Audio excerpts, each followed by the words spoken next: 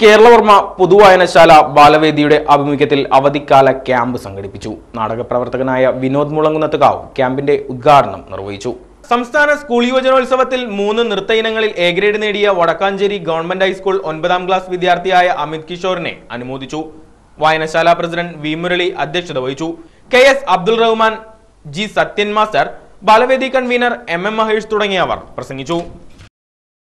സാഹിത്യപരമായിട്ടും ഒരു പത്രത്തിന്റെ മേഖല എന്നൊക്കെ പറയുകയാണെങ്കിൽ വളരെ നല്ല രീതിയിലുള്ള ഒരു ഭാഷകൾക്ക് കൂടിയായിട്ടുള്ള ഒരുപാട് ആൾക്കാർ നമ്മുടെ നാട്ടിൽ തന്നെയുണ്ട് വടക്കാഞ്ചേരിയുണ്ട് അപ്പൊ അങ്ങനെയുള്ള ആളുകൾക്ക് മാത്രമേ ഇതേപോലുള്ള നന്മകൾ അതുപോലെ തന്നെ ജനങ്ങൾക്ക് പ്രോ- പ്രചോദനം കുട്ടികൾക്ക് പ്രചോദനം ഉണ്ടാകുന്ന കാര്യങ്ങൾ